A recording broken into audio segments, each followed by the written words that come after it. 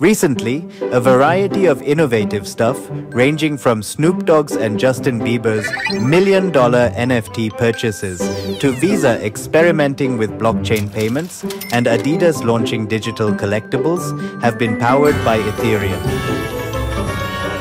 With half a trillion dollars in peak market cap and billions in daily trading volume, the Ethereum network has been successful in gaining the attention of the masses.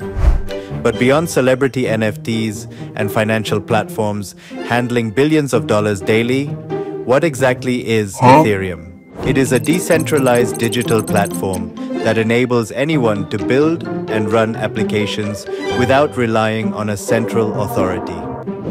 This capability is powered by smart contracts, automated programs that execute tasks automatically when specific conditions are met. All these operations occur on Ethereum's blockchain, a secure network composed of thousands of computers around the globe that continuously verify and record transactions.